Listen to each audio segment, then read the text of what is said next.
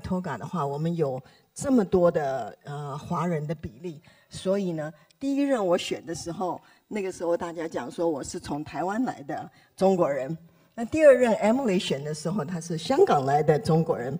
所以第三任的时候，这个接棒的赵燕，她是从中国来的中国人。我们真的很高兴，一直有这样的传承。所以希望大家继续的支持她，呃，然后给她在所有需要的场合里头给她最好的 support。谢谢。Thank you. Sorry, I have not been political correct. I speak the Chinese first. But uh, I'm sorry about that. But anyway, I was saying that I was so proud of Ye because of her perseverance. And she finally made it. We are very proud of her. And thank you for all of your support and guidance. Thank you.